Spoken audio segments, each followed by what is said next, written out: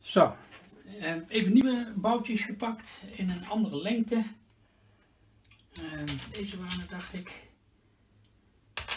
En dan gaan we die proberen. Want ik heb een heel doosje van die boutjes ooit eens een keer bij Ali besteld.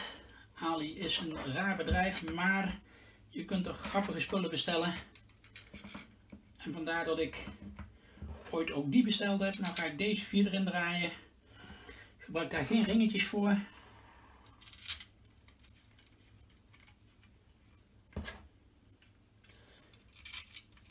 Het goed is moet dit wel een goede maat zijn om ze gewoon vast te kunnen draaien. En dat ga ik dan ook even doen.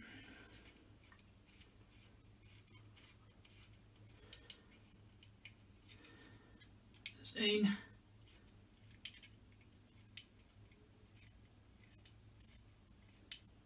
Twee. Dat hoeft ook niet heel erg strak, hè? dat is ook niet noodzakelijk. Ik moet wel zo meteen die SD-kaart er nog in doen, want die heb ik er nog niet in zitten. Die heb ik er even uitgelaten, omdat het niet wilde zoals ik het wilde. Je hebt net gezien dat ik een stukje uit de film geknipt heb. Mij viel namelijk het, uh, het potje met PVC-lijm om, om even dat kleine beschadigingetje te repareren. En dat was nog een puinhoop. Dus dat heb ik even moeten repareren. Um, even dat SD-kaartje plaatsen. Dat zal denk ik op deze manier moeten.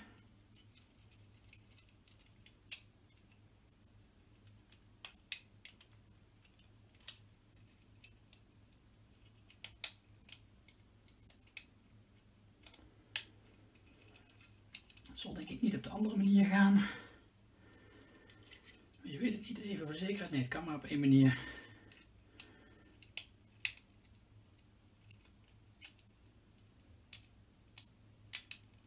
En dus moet hij er op deze manier in. Als het goed is moet dat zo goed zijn. En dan hebben we hier de behuizing. En die ga ik weer op die zijkant maken. Hier komt straks een kabeltje op te zitten. Waarmee die aan de uh, moederbord van de printer verbonden wordt. De boutjes die ik had, die ruim ik op samen met de schroefjes. Want die heb ik natuurlijk dus niet nodig hiervoor. Hoppakee eentje na zitten ze op het plekje. Nou, dat is jammer, ook niet erg. Um, ja, deze bewaar ik ook natuurlijk. Dat is interessant, die, uh, die washertjes, die kleine, ja, dat zijn eigenlijk een soort van plastic opvulringetjes. Die kunnen interessant zijn bij een projectje op enig moment. Dus ook die bewaar ik. Gaan we weer uh, ons frame erbij halen. En dan hadden we gezien dat dit dus de onderzijde was, deze kant. Dus we gaan het op dezelfde manier doen als we het net hadden gedaan. We gaan hem er weer in plaatsen. Hij moet natuurlijk met het uh, textuele gedeelte aan de bovenkant zitten. Dus ik plaats hem er zo in. En dan kan ik de twee bouten er weer in draaien die ik even losgedraaid had voor de zekerheid. Ik zet het nog steeds niet vast. Dat uh, is even voor alle duidelijkheid te doen. Nog steeds niet, dat doen we later. Later zetten we het pas vast. Ondertussen log ik weer even in op mijn uh, computer, want die had ik even weggehaald voor dat schoonmaken. Ja, waarom je nou Bink opent, dat snap ik ook niet. Maar het is wel eens opgevallen bij Windows 10 dat als je uh, inlogt, dat je dan uh, heel vaak bij verschillende versies dat je Bink krijgt. Altijd Bink in plaats van, van Google of zo, of weet ik veel. Doet hij uit zichzelf. En ik ben er nog steeds niet in geslagen om dat uit te zetten. En ga me niet vertellen in reacties dat dit moet via um, startpagina instellen en zo. Dat weet mijn neus ook wel dat je dat moet doen. Maar dat is niet de oplossing voor het probleem. Dat kan ik je alvast vertellen. Goed. Krijgen we um, de opbouw van de motor. En dat is best nog wel even een tricky one. We hebben namelijk de motor. Dat maakt niet zozeer uit welke. Hij moet met de... Uh, Um, als ik het goed heb gezien in de video, en dat ga ik er heel even bij halen. Even kijken. Uh, ietsje beetje terug.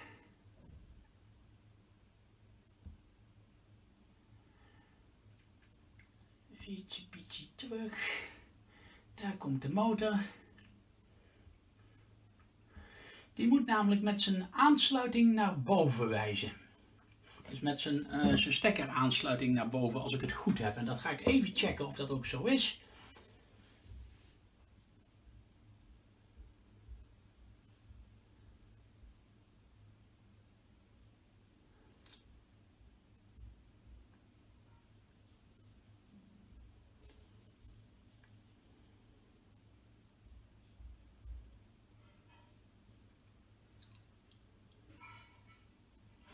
Verkeerd heb. Oh, eh, ja, ik zie dat verkeerd. Hij moet namelijk naar rechts wijzen. Zie je, dus dat is wel een, een dingetje. Hij moet straks naar die kant wijzen. Um, ik ga hem gelijk plaatsen. Ik zie in de handleiding dat ze eerst de koppelen. Nou nee, we gaan toch eerst de koppelen, zie ik. Want er zit een koppelaar bij. En die koppelaar die moet er ook op geplaatst worden. Dus ik ga even de extrusie naar beneden plaatsen de koppelen erbij halen. Er zijn er twee van. Dat zijn deze twee blauwe ringen. Ook dit kennen we een beetje vanuit de, de 3D printwereld. Hele kleine schroefjes zitten erin. En daarmee moet het geheel vast worden gezet. En we hebben daar nog wat meer bij nodig. Los van de uh, schroefdraadstang hebben we een veer nodig. En een koperen, ja, een soort van een houder, zeg maar. Zo, die twee hebben we nodig. Die andere hebben we straks nog nodig. En wat we nodig zullen hebben, dat is dit gedeelte. En ook dat gaan we alvast erbij halen. Zo, even kijken. Hier hoort een uh, heel klein uh, inbussleuteltje bij. En dat gaan we dan ook doen. Kleine inbussleutel erbij halen.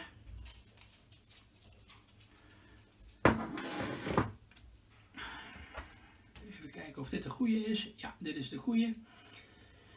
We hebben een brede kant en we hebben een smalle kant. Uh, smalle kant, brede kant. Nou, de brede kant is duidelijk, want daar moet straks uh, deze koppeler in. Dus hij moet met de andere kant op de as. De as heeft net zoals bij de 3D printer een vlakke kant en een ronde kant. Um, hij heeft weliswaar twee schroeven. Ik ga ze allemaal, uh, of vier schroeven in totaal, maar op elke kant twee schroeven. Ik ga ze allemaal een beetje losdraaien, zodat ze zo meteen ook pakken. Maar we gaan hem op de vlakke kant, in elk geval zorgt dat hij minimaal op één van de twee kanten op de vlakke kant vastgezet wordt. Dat is heel belangrijk. En uh, niet helemaal op de as zelf. Er moet een heel klein beetje ruimte tussen zitten. Want anders loopt hij aan. Zo, nu zit hij op de vlakke kant. Andere kant draai ik ook alvast vast. Zo.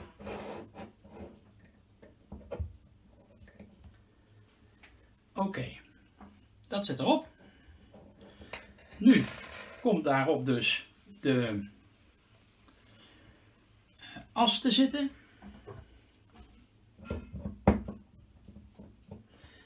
We eventjes licht vast. Die hoeft nog niet echt super vast te zitten. Dat gaan we straks wel doen natuurlijk, maar niet op dit moment. Zo. Die zit ook. Dan krijgen we dat gedeelte, deze hier. Daar moet de veer in. Daar zo. En daarop komt het koperen gedeelte te zetten. Zo. En nou is de bedoeling dat we naar de motor toe deze kant erop draaien totdat die er helemaal doorgedraaid is. Tenminste, dat is zoals ik het hier vaststel.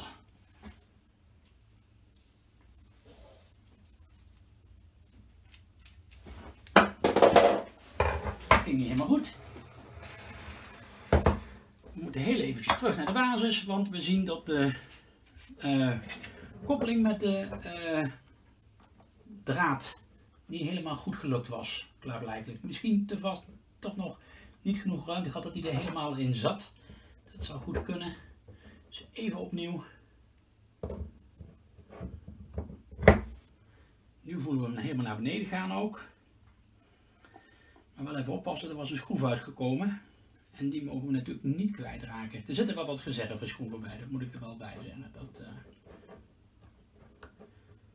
Opnieuw vastdraaien. Even een heel klein beetje. Dan gaan we dat opnieuw doen.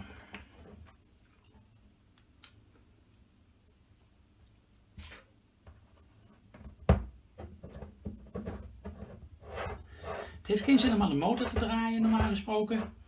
Je draait hem echt aan de as, totdat hij er doorheen draait. En volgens mij komt hij er nu aan. Ja. En dan kunnen we hem ongeveer naar het midden draaien. Uh, leuke gedachte trouwens. Maar ook dit doet uh, Ronaldje verkeerd. Want hij moet natuurlijk eerst door zijn... Uh, door de extrusie, anders krijg ik hem de nooit van zijn levensdagen op. Dus ik pak hier de extrusie. Zet hem even op zijn kop, dit is de achterzijde. En hij mag er dan pas door.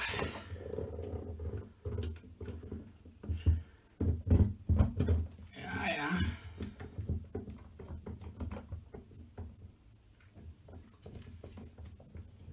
Dus nog een verhaal.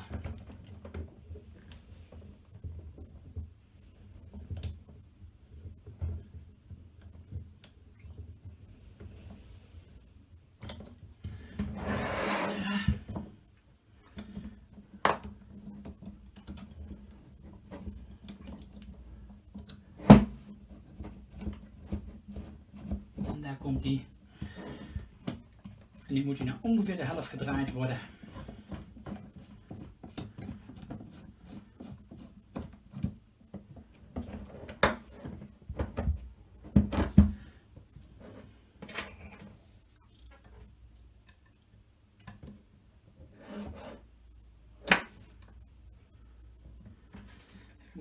De schroeven er even uitdraaien, anders krijg ik hem niet hier door zijn middelste gedeelte heen.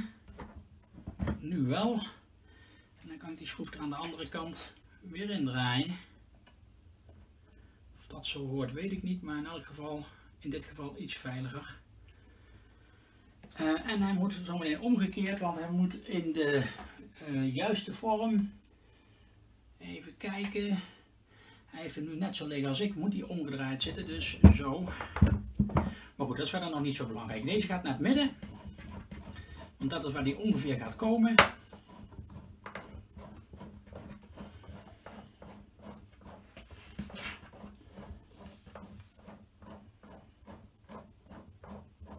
Zo ja, hartstikke mooi.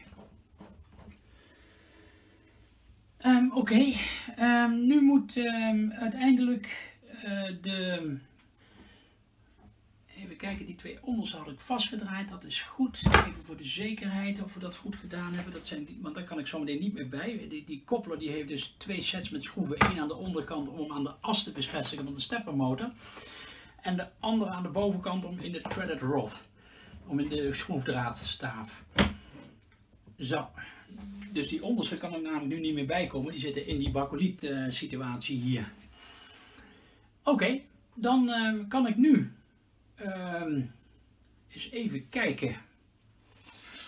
Bezig met um, de motor vast te zetten. En de motor vastzetten, daar zitten de kleine schroefjes voorbij. En dan moet ik heel even kijken welke de geschikte zijn, want we hebben twee maten. En ik durf er wel een gok op te wagen. Um, we hebben namelijk uh, iets langere en iets kortere. En het verschil zit hem denk ik in de dikte van de bakoliet. De zijkant is dikker en die zullen dus een grotere schroef nodig hebben. Dan zal dit dus de andere kant zijn.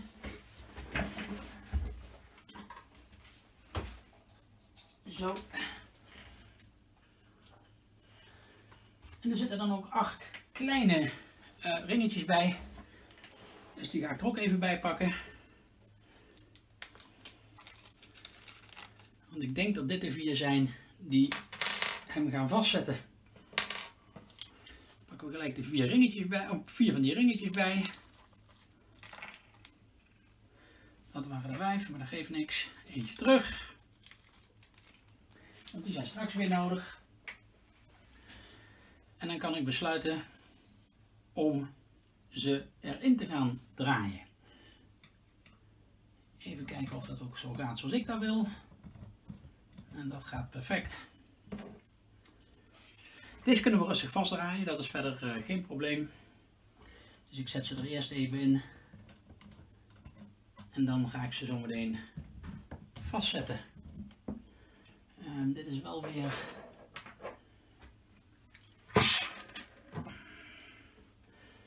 ander maatje met inbussleutel. Dus ik moet er even een ander inbussleuteltje bij hebben. Zo. Keurig. Even op zijn zijkant zetten.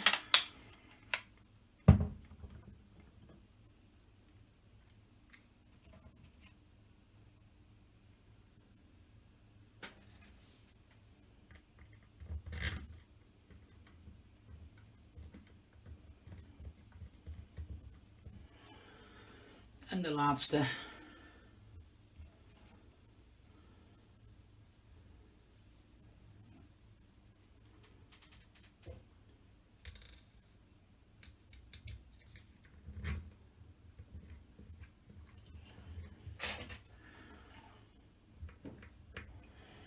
En nu kan ik ze dus ook gelijk goed vastzetten, dus dat doe ik ook meteen. Dat is één. Dat is 2.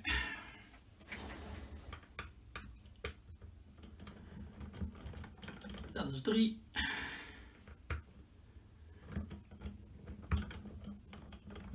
En dat is 4. Even nalopen.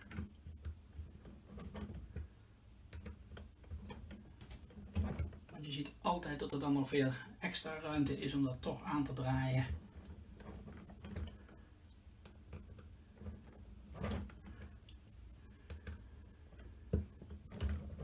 volgens mij moet dit gewoon stevig zitten. Dus even de andere kant.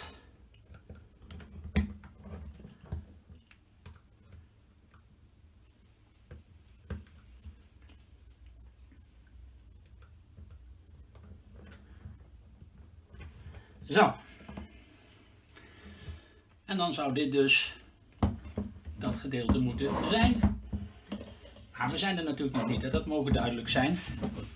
Want wat we nu gaan doen, we gaan nu de, het werkbed monteren.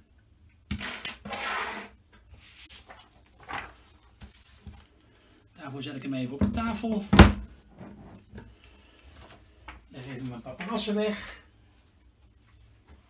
En gaan op weg naar de werking van het werkbed. Dat heb ik hier voor me liggen. En dat bestaat uit een heleboel schroeven en bouten. Zullen we gaan zien. Even kijken. Ja. En dit zijn de M10, M15. En daar heb je de 10 van nodig. Zeggen ze 4, 6, 8, 10. Ja, klopt. En dan de grote. Dat zijn deze grote houdertjes. goed is blijft er daar één van over. 2, 4, 6, 8, 10. Ja. Dit wordt mijn reservezakje straks. Want dit zullen reserves gaan zijn. Hebben ook ringetjes bij nodig natuurlijk. En dan zullen dit waarschijnlijk de boutjes zijn. Vermoed ik zo. Ik zal even kijken of deze 10 zijn. Oh, hier blijven. Nou, ze zijn niet groter als 10. Maar ik heb niet kleiner, dus dat is makkelijk. Dit moeten de juiste zijn. Ik heb namelijk niet kleiner. Uh, dus dit moeten ze zijn met 10. Uh, ook daar 10 stuks van. 1, 2, 3, 4, 5, 7, 9, 10. En er blijft er weer één open. En die gaat in het zakje met reserveonderdeeltjes. En dan hebben we daar ook weer één in zitten. Oké. Nu pakken we de printbla- het printblad. En daarvan moeten we eens even kijken, want eh, hij heeft aan de ene kant drie ribbels, aan de andere kant vier. De vier moeten boven zitten, de drie moeten onder zitten. Dus de drie is waar die uiteindelijk op komt te liggen. Dus hier komt hij erop te liggen. Ehm, de kunst nu is om het zo voor elkaar te krijgen dat je dus deze, ik ga ze eerst even aan omdraaien, want dat moet, die ook.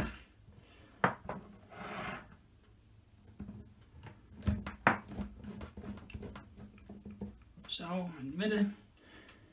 Ehm,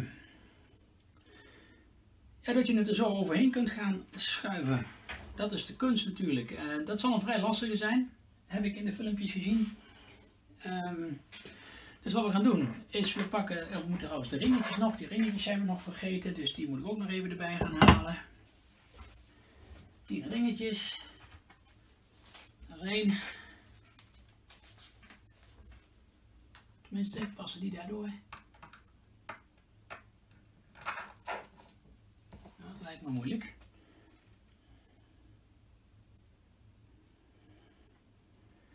Dus de ringetjes zullen hier niet bij horen. Terwijl dit wel bij elkaar hoort. Dus hier horen geen ringetjes bij, want die ringetjes passen van zijn levensdagen niet. Ook geen probleem. Dan horen ze straks bij de andere, want we hebben nog een hele lading bouten liggen en moeren. En dan zullen ze daarbij horen. Dus hier komen geen ringetjes op te zetten. Eh, nou, wat de bedoeling is, is dit. Is ze worden, ehm, even zien, met deze zijde naar boven eh, geplaatst. En dan is er dus een bout er doorheen. Deze erop draaien.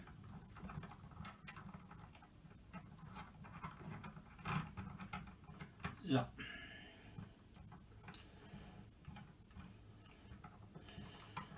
En dat moeten we dus voor alle betreffende zaken hier doen.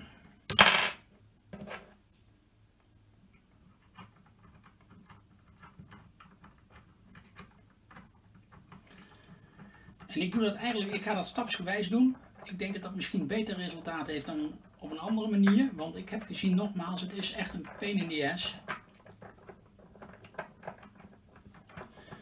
Straks dat printbed erop te krijgen. Dus eerst deze. Dan deze.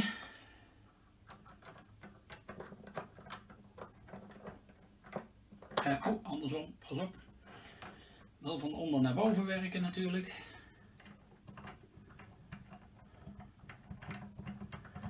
Anders werkt het zeker niet.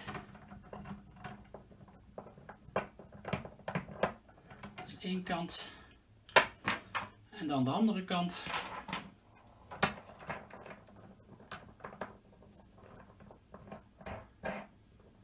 Zo. Zo dat ze recht komen te staan. En dan is de bedoeling, zoals ik gezegd, 4 aan de onderzijde, 3 aan de bovenzijde.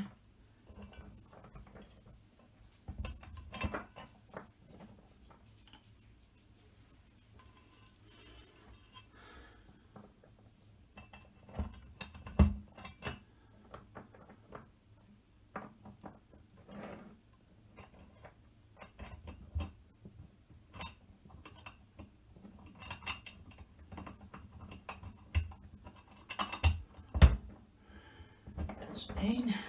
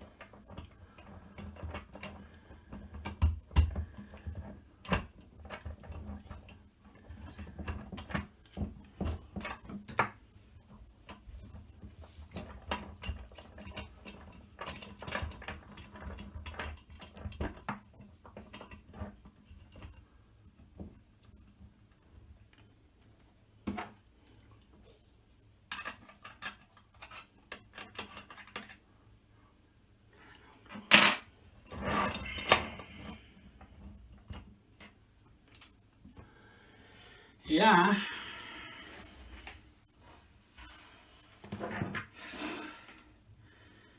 Hier moet dus duidelijk een andere inbussleutel weer bij.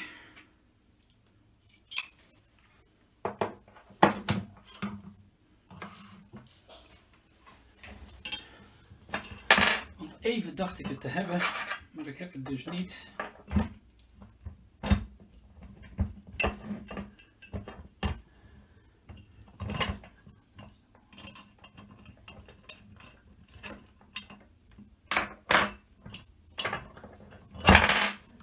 Nou, hè?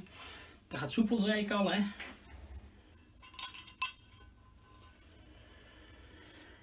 Ah, bedenken.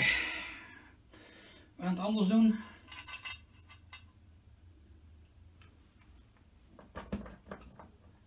Want het is gewoon de kunst om hier de juiste weg in te vinden.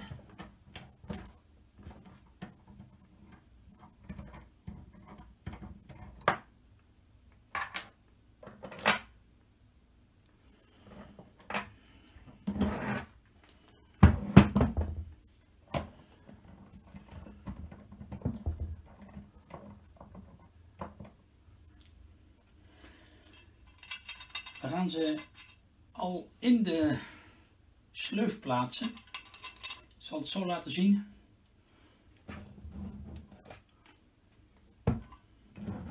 Even hem aan de kant.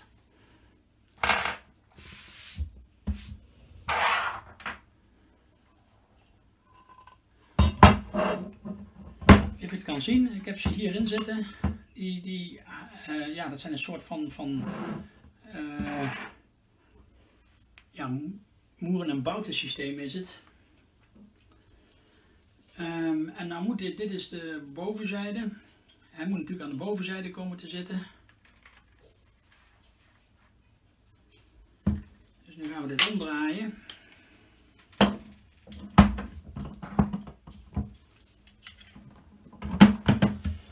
En dan doe ik het gelijk maar even helemaal goed, denk ik.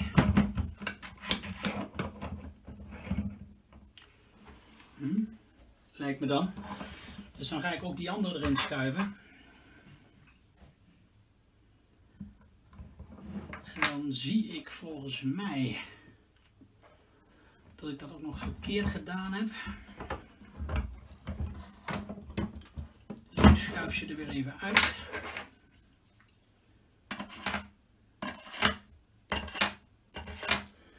Want ik had gezegd. Um,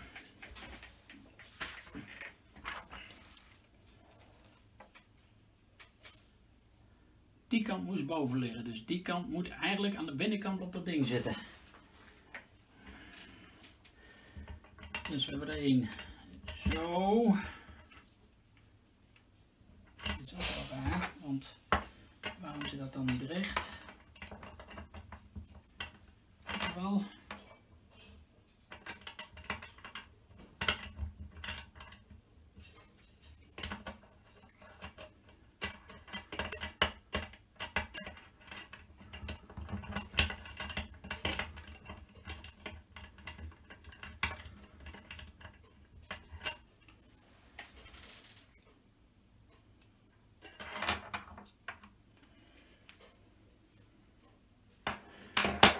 Even pauzeren. Ik uh, ga dit even uitvogelen. Ik kom zo terug als ik uh, de eerste erin heb zitten. Het is wat makkelijker eventjes. Moment.